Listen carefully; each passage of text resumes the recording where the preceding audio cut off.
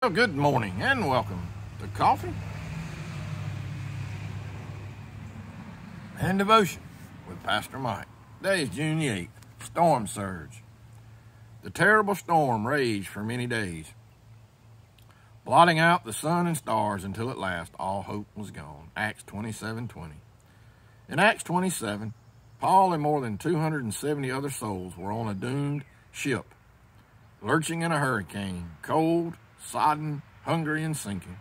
Luke, who was there, wrote, All hope that we would be saved was finally given up.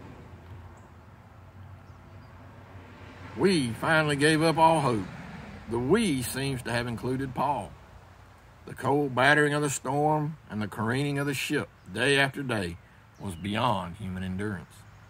But Jesus was watching from heaven, and he sent an angel down to that ship to reassure Paul that everyone would be saved. Our human spirits can only bear so much. So much cold, so much seasickness, so much fear, so much prolonged stress.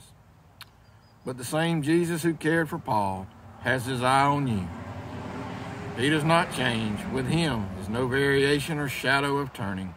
He will guide you into the harbor because God is unchangeable.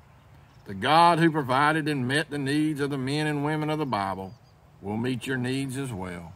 Don't lose hope. Remember, have a cup of coffee and a chat with Jesus. And as always, peace and blessings.